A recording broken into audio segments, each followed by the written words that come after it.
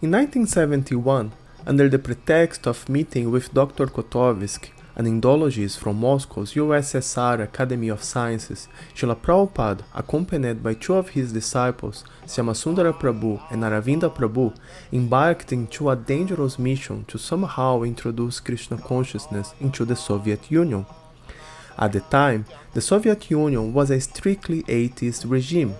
One could be executed for spreading religious books into the country.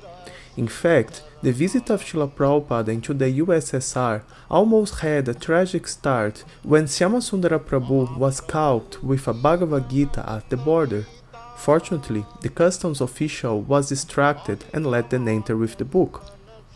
Their visit would last just five days, and all their movements would be closely followed by the KGB.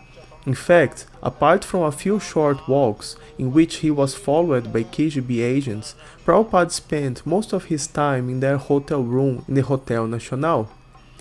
In the fourth day, however, something unexpected happened. While walking the streets of Moscow looking for fruit for Prabhupada, Syamasundara Prabhu met an interested boy who went with him back to the hotel to meet Srila Prabhupada. For a few hours, Srila Prabhupada explained to him all the basics of Krishna consciousness and gave him the Bhagavad Gita that they had smuggled into the country. Amazingly, after just this short meeting, this boy became seriously committed to spreading Krishna consciousness, later becoming Ananta Shanti Das, who paid an extremely high personal price to be able to spread Krishna consciousness in the Soviet Union.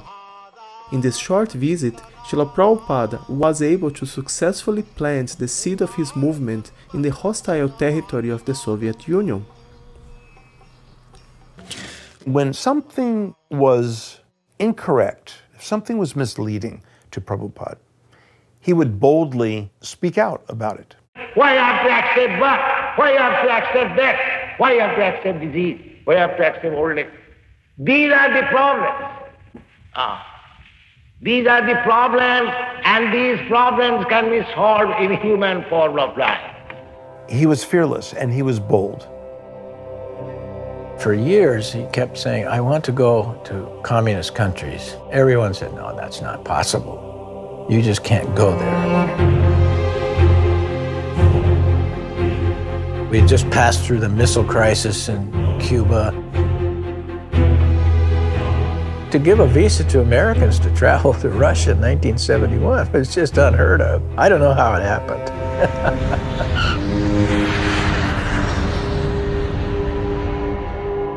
when I was in Moscow airport, as soon as they found Bhagavad Gita, they called police, custom checking. The policeman was kind enough. He said, not serious offense don't send him in the concentration camp. As we would pass churches, he would see that there were armed guards in front of the churches. Nobody was going in and out.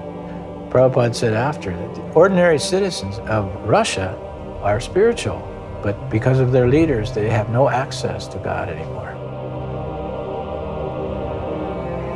I went to a bank to change some money. Outside the bank, there were two boys, and they came up to me.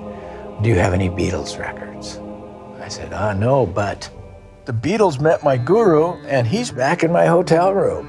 Wow! and they came back with me to meet Prabhupada. But this Russian boy just drank in every word Prabhupada said. You know, he asked the most cogent questions right away. You know, who is God?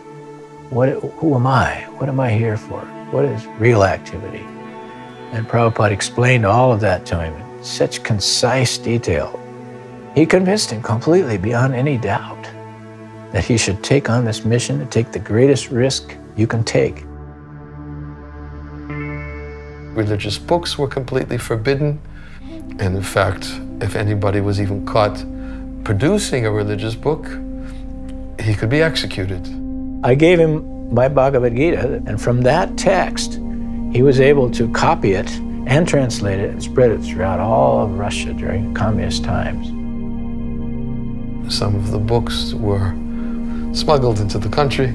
They would make photocopies of them I went to one flat and saw how the, all the devotees were sitting with photographed copies of each page and they were stitching the books, putting them together and going out.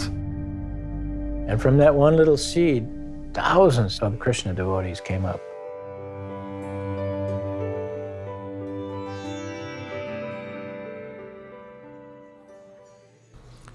After the visit of Srila Prabhupada, the Hare Krishna movement gradually grew in the Soviet Union as a coalition of underground groups.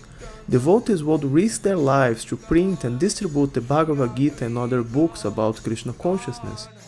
Many were arrested and tortured, and a few lost their lives in gulags, prisons, or as a result of torture by KGB agents.